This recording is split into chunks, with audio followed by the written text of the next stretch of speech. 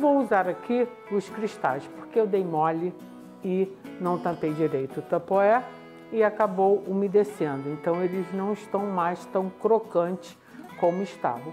Então, para não colocar novamente no forno, vamos à rainha da nossa geleia, que é a abóbora. Eu tenho aqui 250 gramas de abóbora que eu cortei bem pequenininho, que é para ajudar no cozimento, não vai demorar tanto tempo para ela ficar macia.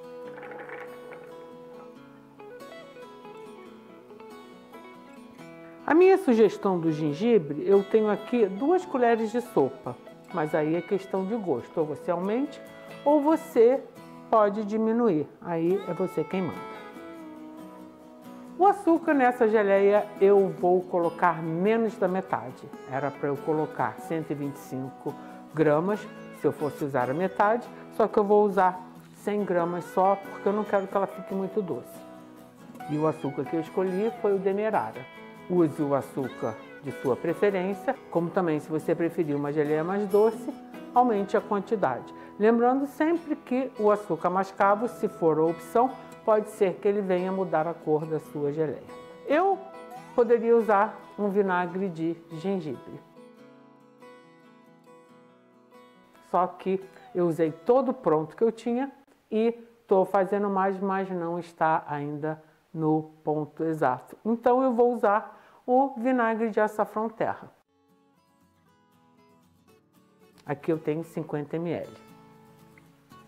Para você saber sobre esses dois vinagres, eu sugiro que você dê uma olhadinha na playlist vinagres, mas use o vinagre que você tiver em casa.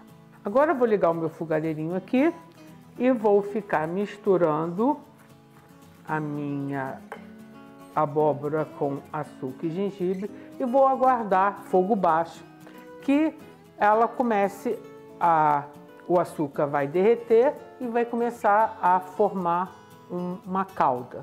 Eu sempre deixo aqui um copo com água, porque se for necessário, eu vou pingando água. Não gosto de colocar de uma vez só, porque vai que fica muito aguado, aí vai ter que ficar mais tempo no fogo. Dessa maneira, você vai adicionando conforme for necessário. Mexa sempre para evitar que o açúcar queime e quando ela já estiver bem macia, eu volto para a gente continuar. Após 50 minutos, olha só como é que está a minha abóbora. Ela reduziu de volume, toda a umidade passou para esta calda maravilhosa. O gengibre, a mesma coisa, tanto o gengibre quanto a abóbora estão super macios e acabou que eu não achei necessário colocar água, porque logo com alguns minutinhos, o açúcar começou a derreter, com isso a abóbora sendo aquecida também foi liberando umidade e não foi necessário. Agora então o que, que eu vou fazer? Eu vou adicionar a pectina, se você não conhece, eu sugiro que você dê uma olhadinha no vídeo Pectinas Caseiras Noções Gerais.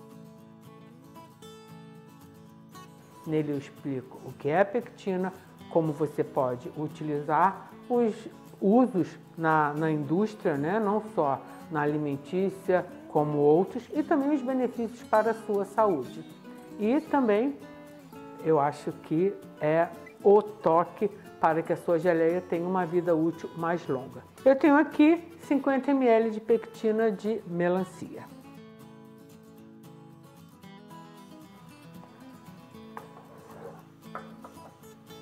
Agora eu vou aguardar que ela volte a ferver para dar o ponto na minha geleia. O que acontece? Quando a geleia está quente, você não sabe exatamente qual a textura que ela vai ficar depois que ela esfriar. Mas depois que você adiciona a pectina, principalmente, a própria geleia vai te dizendo se está no ponto correto. Essa geleia, particularmente, eu não vou processar. Eu não vou processar pelo simples motivo de que eu tenho esses pedaços lindos e maravilhosos do gengibre, que se eu processar vai ficar tudo misturado. E eu quero, quando poder usar a geleia, sinta não só a maciez da abóbora, como também os pedacinhos do gengibre. Agora, se você não quiser usar a sua geleia assim rústica, a minha dica será a seguinte: não use gengibre. Faça só uma geleia de abóbora. Como também eu já tenho aqui no canal a geleia de gengibre. Na playlist Geleias você acha essas receitas todas. Então agora é só aguardar e assim que a minha geleia estiver do jeito que eu gosto, eu volto e mostro para vocês. Bom, como vocês podem ver, aqui a minha geleia já está com os indícios do jeito que eu quero que ela fique. A primeira é a quantidade de bolhas e se eu mexer, vocês vão ver que ela já está bem cremosa, com uma calda bem espessa. A abóbora está completamente macia, o gengibre também. E se eu pegar um pouquinho da calda e cobrir as costas da colher e aguardar alguns segundinhos, eu vou fazer um caminho com meu dedo e esse caminho não vai se juntar. Isso quer dizer que ela vai ficar exatamente do jeitinho que eu quero. Então vamos aqui ver. Olha só, não pinga do meu dedo e então vocês podem ver que as duas partes não se juntam. Então agora eu vou aguardar que ela esfrie para mostrar para vocês como é que ela ficou realmente. Até daqui a pouco. Agora que minha geleia já esfriou, vocês vão poder ver como ela ficou. Eu comentei que eu não queria processá-la, que eu queria sentir os pedacinhos, não só da abóbora quanto do gengibre.